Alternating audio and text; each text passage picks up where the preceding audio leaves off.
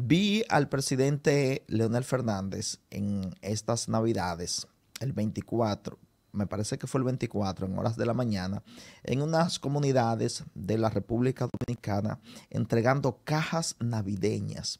cajas con productos navideños con su fotografía a Leonel Fernández, el hombre de la globalización, el hombre para mí más actualizado de la República Dominicana, tal vez el más actualizado de la República Dominicana. Entonces, Leonel Fernández todavía aferrado a esa política de los 90, a esa política de inicio de los años 2000,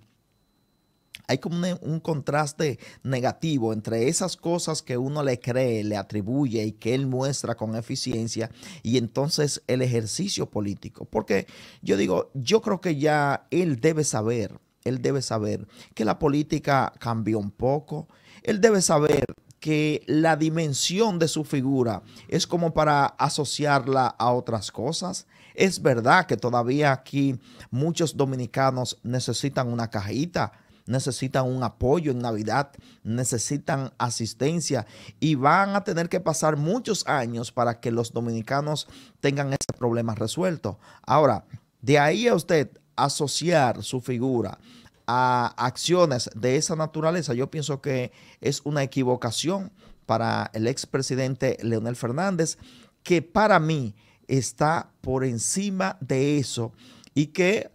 creí que en un momento determinado ya esa acción no se iba a dar y que se iban a,